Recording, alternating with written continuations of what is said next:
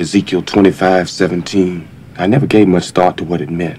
I just thought it was some cold-blooded shit to say to a motherfucker before I popped a cap in his ass. See, now I'm thinking, maybe it means you're the evil man, and I'm the righteous man. And Mr. Nine Millimeter here, he's the shepherd protecting my righteous ass in the valley of darkness.